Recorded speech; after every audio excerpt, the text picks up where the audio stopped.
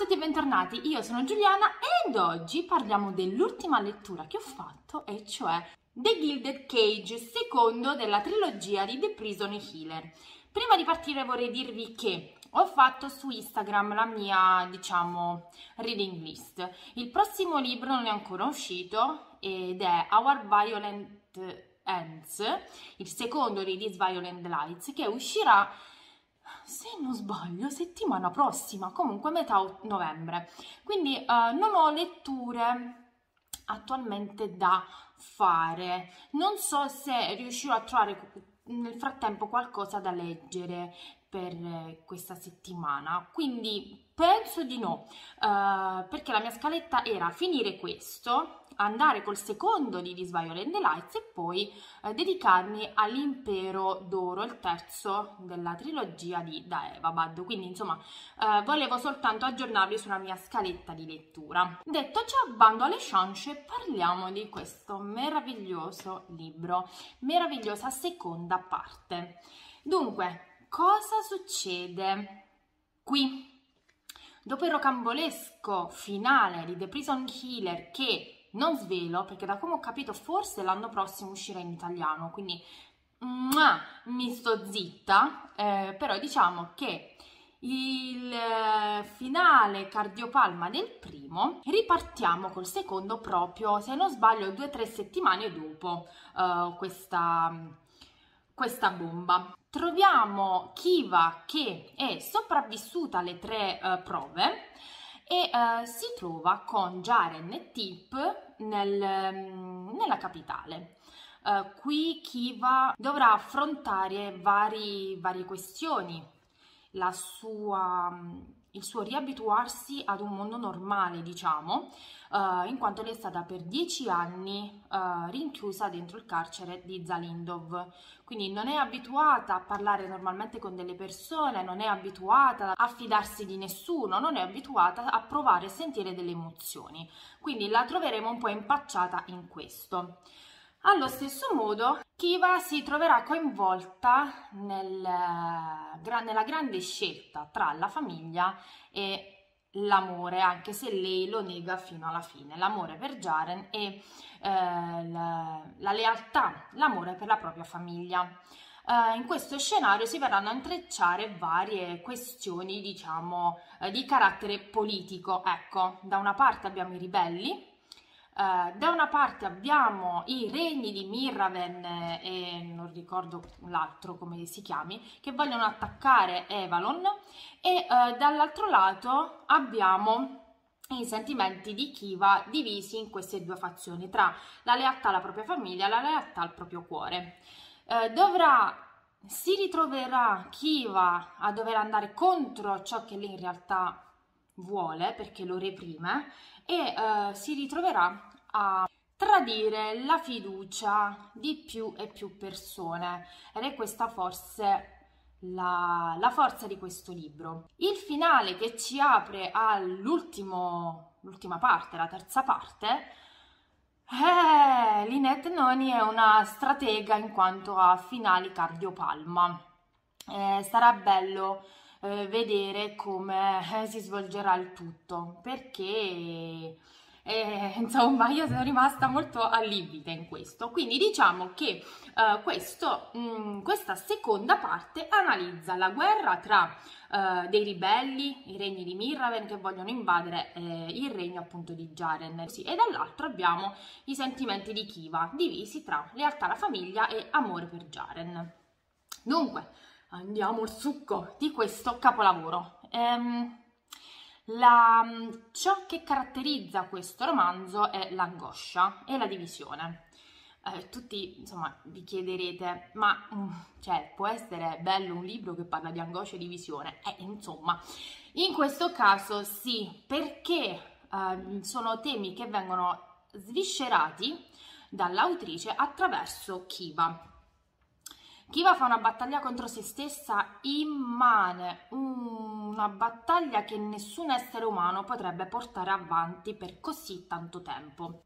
L'angoscia che percepiamo eh, dall'inizio a fine eh, libro è eh, analizzata in tutti i suoi aspetti. Kiva fa una crescita in ogni caso, nonostante viva questa doppia, diciamo, uh, personalità, doppia vita, non saprei come, come definirla. Conosciamo uh, due parti della sua famiglia, i suoi fratelli Zulika e Thor, e ci renderemo conto che non è una famiglia uh, dai, che ci si aspetterebbe, una famiglia uh, di canoni standard, ecco così. La sorella è un tipo un po' particolare, è molto invidiosa e gelosa di Kiva, il fratello invece è molto protettivo nei, conf- nei, suoi confronti, cerca di proteggerla più che può e quando la rivede il suo cuore letteralmente si scioglie, cosa che non succede con la sorella Zulika. Per quanto riguarda i due fratelli, ah, durante il libro non abbiamo sentore eh, di nulla, ma verso lo scioglimento finale uno dei due uh, prenderà il sopravvento e rivelerà la propria identità e lì insomma sarà la parte dello scioglimento finale che porterà allo scoppio della seconda bomba. Per quanto riguarda il doppio gioco che fa Kiva, ci rendiamo conto di quanto sia difficile per una persona portare avanti due personalità, non essere se stessa e tentare di far combaciare le varie bugie dette a destra e a sinistra eh, per far sì che diciamo, la storia sia, mm, vada in un senso unico per entrambe.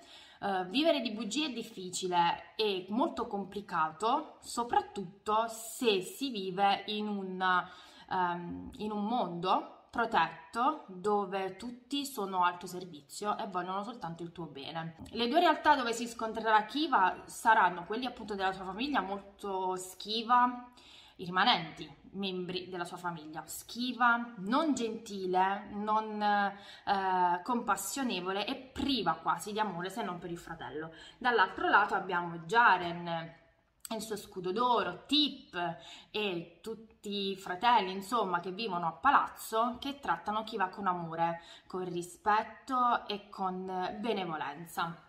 Uh, quindi eh, si troverà al centro di, questi, uh, di, queste caratteristiche totalmente diverse. Per quanto riguarda la descrizione della, della capitale e quant'altro, uh, molto bella. Ci viene descritto anche un ospedale, l'ospedale di Silverton, un posto molto bello dove chi va a Kiva viene dato il benvenuto. C'è una guaritrice che non vede l'ora di vederla a Silverton e, a Silverton e ehm, le dà tutto il tempo per decidere se un domani volesse ehm, intraprendere la carriera appunto all'interno di questo ospedale.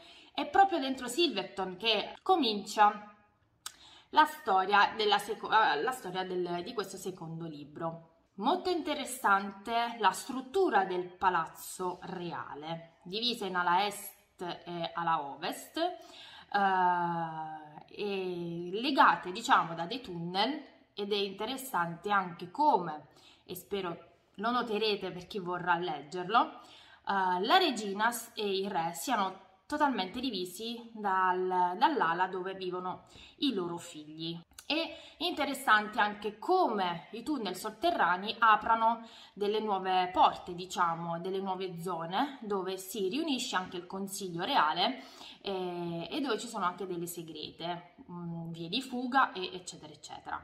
Scopriremo anche le variabilità dei principi reali, dei vari elementi, come li maneggiano, è stato veramente bello, e eh, l'antagonista per eccellenza è il principe Caldon, Caldon, Caldron, non mi ricordo, è un tipetto molto simpatico, spavaldo, chiama uh, Kiva Sunshine o Sweet Chick, Sweet Chicks ed è veramente uno dei miei antagonisti preferiti in assoluto. Uh, mi sono divertita tanto nel leggere le parti dove lui è presente. La cosa che mi ha turbata un po' di questo personaggio, diciamo che in, una non proprio nel finale, ma quasi ad apertura del finale, capitoli finali, lui scopre, diciamo, questa mm, duologia di Kiva e la perdona. Cioè, io sono rimasta un po' così perché ho detto, cioè, ma io le avrei strappati i capelli, tipo, però lui la perdona. Questa forse è una parte che non mi ha tanto convinto, però leggendo i capitoli finali, soprattutto il finale, ehm, probabilmente Lynette, la nostra amata Lynette, analizzerà questa cosa nel terzo libro, quindi sarà tutto da vedere. Per quanto riguarda Jaren, io amo questo principe e ogni volta mi chiedo ma perché non esistono queste persone nella, nella realtà? Io me lo chiedo sempre. È, è, è, frustrante leggere di questi uomini ma che in realtà non esistono. Tip qui avrà un ruolo più marginale. Una cosa che ci tenevo a dirvi, di solito quando ci sono delle trilogie spesso sento bookstagram, booktuber, tutti i books del mondo, uh, dire eh, di solito questo il secondo libro um, è un, un, brodo allungato, non c'è scritto niente di che, um, sarebbe meglio farne duologie. Dunque, faccio un paragone anche se non ci azzecca niente. Con La città di Ottone, il secondo libro in realtà è veramente un brodo allungato in quanto si prende come scusa questo ospedale, ve l'ho detto centomila volte, lo so, ma in realtà che cosa accade? Bastava leggere soltanto le parti dove c'era Dara e si sarebbe capito tutto fino alla fine. Eh, e ho la sentore che col terzo libro si venga a riprendere alla fine questo ospedale con la frase vissero tutti felici e contenti. Per me quello è un brodo allungato. In questo caso, in realtà, non è un brodo allungato perché si va a costruire tassello per tassello la, mm, il dubbio e il malessere, l'angoscia di chi va che si ritrova tra due fronti, tra la famiglia e l'amore. E nella verso Gianni e la sua famiglia conosce queste persone in maniera totalmente diversa da ciò che le è stato raccontato. Quindi questo secondo libro non è una lunga brodo e se sentite qualcuno dirlo, evidentemente non ha capito nulla di, del messaggio rinchiuso in questo secondo libro. Questo secondo libro fa di tutto per farci capire il reale disagio di Kiva, che si trova in mezzo a due che sono i valori più importanti, la famiglia e l'amore verso un'altra persona. Tutti questi step sono fatti sì per farci conoscere tutti i membri della famiglia reale, farli vedere anche a Kiva, far vedere che in realtà non è come le è stato raccontato, diciamo di non tutti, eh, come le è stato raccontato, lei pr- per prima si deve ricredere, quindi il suo peso da 90 aumenta quando tradisce, tra virgolette, eh, la famiglia reale, Jare in particolare, eh, quando rivela delle informazioni sensibili ai ribelli, in questo caso ai suoi fratelli. Eh, il motivo di questo, eh, secondo libro, pro- sta proprio qui. Uh, non è un brodo allungato, è un crescendo che ci porta all'apertura dell'ovviamente terzo libro. E non sarebbe potuta essere una duologia perché se non ci fosse stato questo secondo libro a spartire l'inizio e la fine si sarebbero venute a perdere molte cose, molte caratteristiche eh, del personaggio e non ci sarebbe stata una comprensione totale del lettore di tutto quello poi che prova Kiva, che prova Jaren poi, che provano tutti. Ho ordinato la mia copia speciale dalla Fairyloot che dovrebbe arrivare, se non sbaglio, fine novembre, non ricordo, però non potevo aspettare di leggerlo a fine novembre, quindi ho scelto di leggerlo in ebook. Eh, ovviamente l'edizione speciale della Fairyloot non sarà così e sarà in maniera diversa, non vedo l'ora di riceverlo. Stessa cosa per Our Violence End, Uh, sarà in edizione speciale ma io lo comprerò a metà novembre in ebook anche perché devo leggerlo assolutamente e su questo non ci piove. Niente ragazzi per oggi è tutto. Spero di aver sviscerato eh, in maniera dettagliata questo video è lunghissimo lo so. Eh, questa mia lettura ma mi è piaciuto particolarmente e mi ha toccato. Se vi aspettate un libro con un triangolo amoroso questo non lo è Niente ragazzi, ci vediamo quando ci sarà il terzo libro. Io non vedo l'ora, oh mio Dio. E niente, fatemi sapere se qualcuno di voi l'ha letto in inglese, uh, se vi ho suscitato interesse, spero di sì perché è veramente bello e è diverso, ve lo dissi anche al primo libro, è proprio diverso, la mia tensione è diversa, è tutto diverso ed è veramente originale, quindi spero arrivi in Italia presto e spero possiate godere anche voi di questi personaggi e della compagnia della piccola povera Kiva. Un bacione grandissimo alla prossima, ciao!